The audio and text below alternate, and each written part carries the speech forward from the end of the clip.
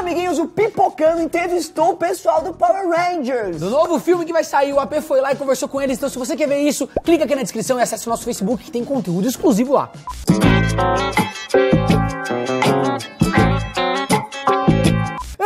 Antagonistas da família tradicional brasileira está começando mais um Pipocando aqui na sua televisão, não. Aqui é no YouTube. Tem na televisão também.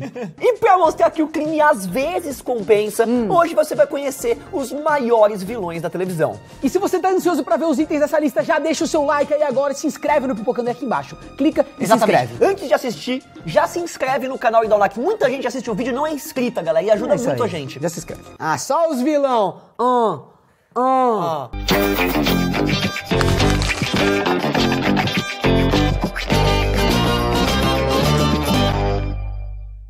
E pra evitar confusões, a gente não vai falar aqui de anti-heróis, como por exemplo Walter White, o Tony Soprano, que apesar de serem muito maus, continuam né, no posto de protagonistas. No começo da década de 90, a HBO era uma das poucas emissoras que conseguiam colocar conteúdo mais gráfico e adulto nas suas séries, o que dava uma brechinha pros vilões brilharem. E essa fama começou muito antes de Game of Thrones, já que a HBO chocou o mundo com Oz. Que é tipo um Orange is the New Black, só que sem açúcar e canela. É mais treta.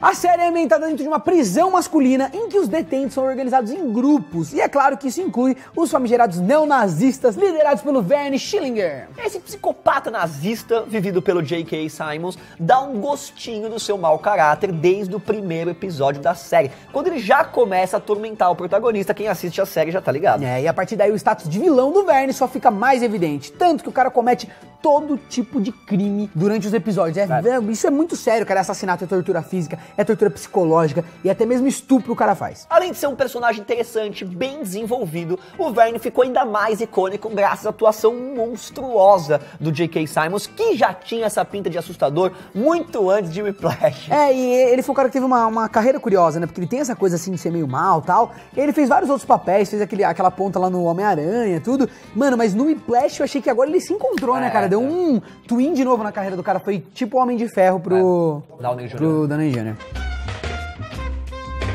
Para com essa porra aí, meu irmão!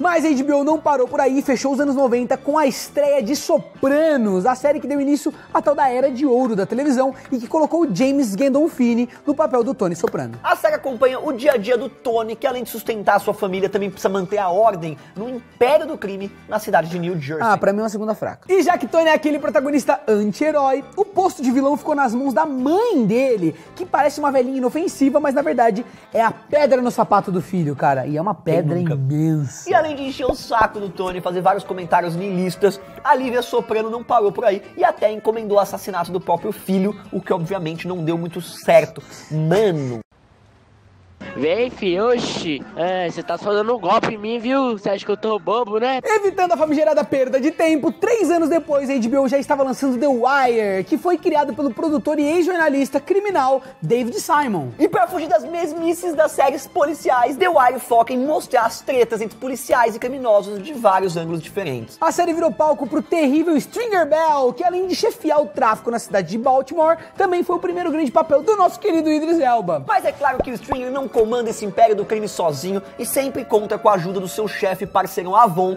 que chegou a envenenar drogas. Envenenar drogas? Peraí, mas droga já é envenenado, né? Não. Não, ele colocou veneno em drogas. Ele colocou droga no veneno pra matar os seus rivais. Essa dupla infernizou os policiais da série e foram os mandantes de vários assassinatos, incluindo o suposto suicídio do seu ex-chefe, que estava na cadeia. E os vilões da HBO também marcaram presença em Boardwalk Empire, que é estrelada pelo Steve Buscemi, e mostra a máfia dos States durante a época da lei seca, que quando os Estados Unidos proibiu a bebida alcoólica. E você que não sabe, meu amigo, a proibição das drogas leva à guerra Tá certo que todo mundo nessa série produzida pelo Scorsese é meio do mal, mas quem consegue se destacar nessa massa podre é o italiano maluco Giuseppe Rossetti. Isso porque além de ser um chefão da máfia, o Gip ainda vai criando uma pilha de corpos graças ao seu comportamento impulsivo, o que não perdoa nem os seus colegas. Falou uma merda, toma na cara. E ao contrário de outros vilões dessa lista, existem poucos motivos pra gostar do cara, já que ele se torna um pé no saco de todos os personagens da série. E finalmente, meus amigos, chegou ali. Vamos falar de Game of Thrones, que conta com dois dos melhores e mais odiados vilões da televisão. O mimadinho do Joffrey e sem escrúpulos do Ramsay Bolton. E o Joffrey conquistou o ódio da galera logo na primeira temporada, quando desobedeceu um acordo e ordenou a morte do nosso querido Ned Stark. A partir daí, o Joffrey colecionou vários feitos detestáveis, detestáveis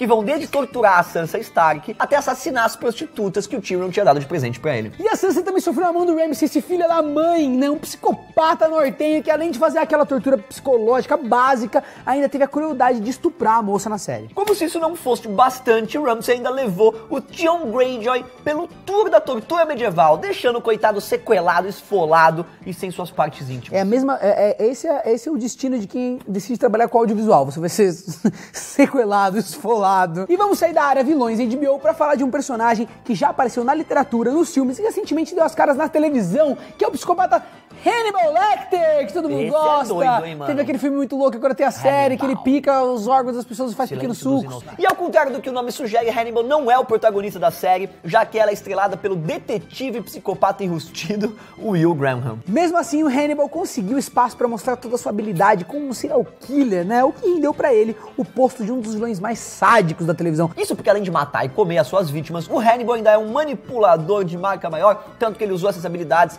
para infernizar a mente frágil do Will. A mesma coisa acontece na série dos irmãos Coen, Fargo, aquela série clássica que levou os Coen pra televisão e manteve a pegada de humor negro, mesmo com uma história diferente. Ah, o filme é tão bom, né? Meu Deus do céu. Todas as desgraças na série tem um dedinho do assassino Lorne Malvo que começa a atormentar a vida do protagonista e dos outros personagens. Mesmo sendo frio e calculista, o Lore não perde o senso de humor durante o seu massacre, tanto que a série dá a entender que ele é o próprio Satanás. E velho. como vocês sabem, Jesus humilha o Satanás.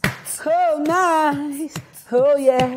E as maldades do vilão são dignas de um serial killer, já que ele é o responsável pela morte de nada menos que 24 pessoas, incluindo a de alguns personagens importantes. E a gente não pode acabar essa lista sem falar do Gustavo Fring, mano. Eu cheguei falando Gustavo Horn. Você come bosta, cara, e pede de sobremesa mais merda! O foda que conseguiu botar medo no Walter White ou no Heisenberg, se você preferir. Além de se transformar num dos reis do tráfico, o Gus também conseguiu criar a fachada perfeita para esconder os seus negócios. Aquela rede de restaurante Los Polos Hermanos. Tem um franguinho show de bola. Show de bola. E dá pra falar que o Gus Fring é bem razoável pra um criminoso, ainda mais porque as tretas só começam depois que o ego do Walter entrou em cena. Isso é legal É também. Porque o, o maior vilão dessa série é o Walter White no final, mano. Ele Breaking Bad-o. Mas a gente não pode esquecer que o Gus é um baita estrategista, tanto que ele colocou a sua própria vida em risco para se vingar do outro chefe do tráfico. Do latim, estratégia. E a gente vai encerrar nossa lista aqui com Ben Linus, um dos vilões mais clássicos da televisão e o cara que fazia questão de infernizar todo mundo na misteriosa O Ben Linus é bem louco. De Lost. O grande atrativo do Linus é que além de ser um completo maluco, ele é muito bom em esconder as motivações por trás das suas ações, que incluem torturas, assassinatos em massa e outras coisas que a gente vai nem mencionar. E pra completar sua maldade, o Linus ainda tinha o dom de manipular as pessoas, o que ficou mais notável graças à atuação sensacional do ator Michael Emerson.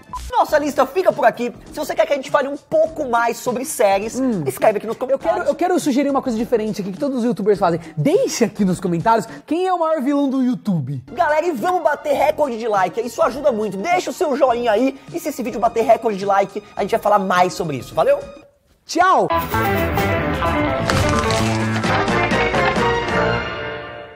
Não, isso, não é, isso não era um milho. É isso que as pessoas têm que entender. As pessoas estão tentando te enganar desde que você nasceu, que isso aqui outrora foi um milho. Não é. Isso não foi um milho. foi. Você pode reparar que a sua mãe faz a pipoca, o que ela faz? Na hora que tá pra estourar, Fecha, a- fecha a porta da cozinha. ela, não, ela fecha a tampa. Já reparou nisso? Você não vê a pipoca estourando, na hora que ela fala, ah, vai estourar, põe a tampinha. Aí Aí, dedinho você põe ela a tampa dedinho e ela aí estoura dentro. E aí depois você já vê a pipoca pronta. Micro-ondas é a mesma coisa. Você pega lá, tá fechado o saco. Essa parte né? Eles colocam uns milhinhos... Continua.